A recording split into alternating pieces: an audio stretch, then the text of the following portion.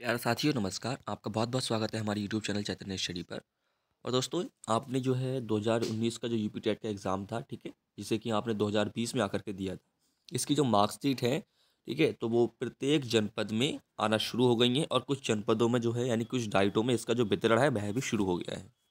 इस वीडियो में दोस्तों, मैं आपको यहाँ पर बताने वाला हूँ कि कौन कौन से जनपद में या कौन कौन सी डाइट में जो टीईटी की जो मार्कशीट है, उनका वितरण शुरू हो गया है। और साथ ही साथ मैं ये भी बताऊँगा आपको कि आपको कौन कौन से दस्त कौन कौन से दस्तावेज़ वहाँ पर लेकर के जाने हैं।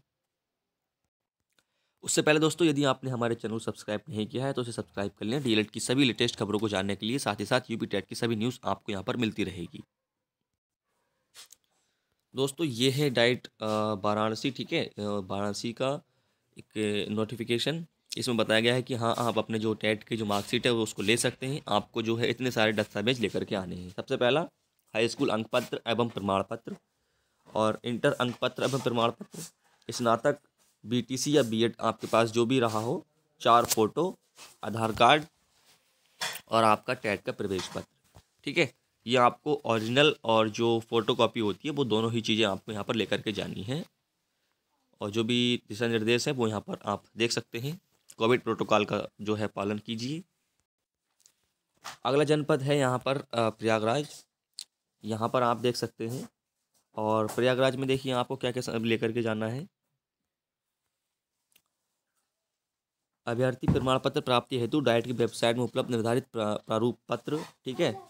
समस्त प्रवेशियों को अंकित कर, जैसे प्रवेश पत्र, रजिस्ट्रेशन के समय भरे गए फ़ोटो पहचान पत्र, आरक्षण एवं विशेष आरक्षण संबंधी प्रमाण पत्र और एक फ़ोटो हाई स्कूल में स्नातक तथा प्रशिक्षण बी एड या बी टी सी के अंक पत्र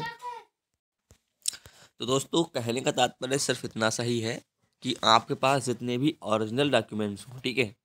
मतलब किसी भी डाइट में अगर आप हैं तो कहने का मतलब ये है कि आपके पास जितने भी ओरिजिनल डॉक्यूमेंट्स हो high school inter graduation B Ed या बीटीसी फिर इसके बाद फिर आपका टेट का रजिस्ट्रेशन फॉर्म उसका एडमिट कार्ड आपका आधार कार्ड और फ़ोटो ठीक है? आप सब कुछ लेकर चले ही जाना। और है डाइट फरुखाबाद से, ठीक है? इसके जो दस्तावेजों की लिस्ट है, वो भी आप देख सकते हैं क्या क्या आपको लेना है। फ़िलहाल में यहाँ पर टाइमिंग भी दे रखी है, ग्यारह बजे से तीन बजे तक, और नीचे लिख रखा है फरुखाबाद डाइट। तो आप जा सकते हैं। और ये है अगला हाँ दोस्तों ये है अगला डाइट जौनपुर से, ठीक है? ये डाइट जौनपुर से न्यूज़ है। इसमें क्या कह रहे हैं, देखिए। आवश्यक सूचना विषय मतलब जो मुख्य रूप से है, वो ये है कि टीईटी प्रमाण पत्र प्राप्त करते हेतु, करने हेतु अभ्यर्थी मास्क अवश्य लगाएँ। बिना मास्क टीईटी प्रमाण पत्र देना संभव नहीं होगा, एवं डाइट परिसर या कार्यालय में बगैर मास्क के प्रवेश ना करें।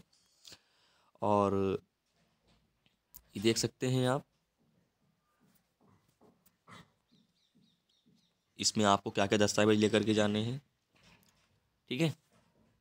एक फ़ाइल बनानी है आपको। और इसके अलावा दोस्तों, आप हमारे चैनल को जो है सब्सक्राइब कर लीजिए।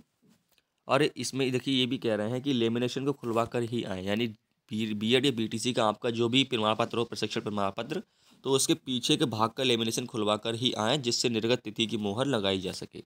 इस बात का भी विशेष ध्यान रखें आप।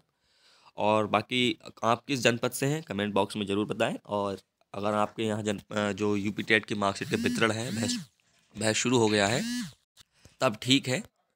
और अगर आपके यहाँ वितरण शुरू नहीं हुआ है तो आप हमें बता सकते हैं कि आपको कौन से जनपद की थोड़ी सी जानकारी आपको चाहिए, ठीक है? हम आपको पूरी कोशिश करेंगे बताने की कि कौन से जनपद में या कौन से डाइट में जो टीईटी की मार्कशीट का वितरण है, वह शुरू हो गया है। फ़िलहाल दोस्तों, आप चैनल को सब्सक्राइब कर लें और कमेंट बॉक्स में अपने प्रश्न ज़रूर पूछें। नमस्कार, धन्यवाद।